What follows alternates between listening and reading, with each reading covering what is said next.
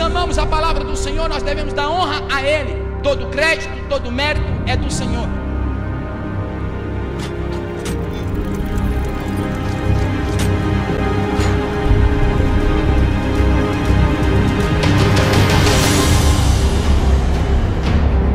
A palavra honra, uma palavra pequena, cinco letras apenas, carregada de um poder enorme. Quem tem testemunho para contar é testemunho de dores, é sofrimento, é lágrima.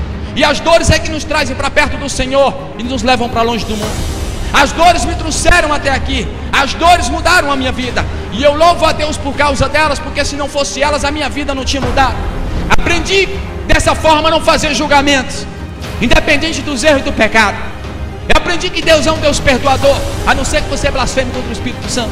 Aprendi que através de Manassés, quando ele perde perdão, Deus fala: Levanta Manassés, perdoados estão seus pecados. Aprendi que independente dos seus erros, independente do que faça, se você pedir perdão, Deus te perdoa. Quem confia em Deus não atira a segunda pedra para resolver. Quem confia em Deus não fala, a carne é mais forte. É sim, enquanto tu não jejua, enquanto tu não ora. Porque um crente funciona o seguinte: ele tem que ser como uma cadeira, tira uma perna, ela cai.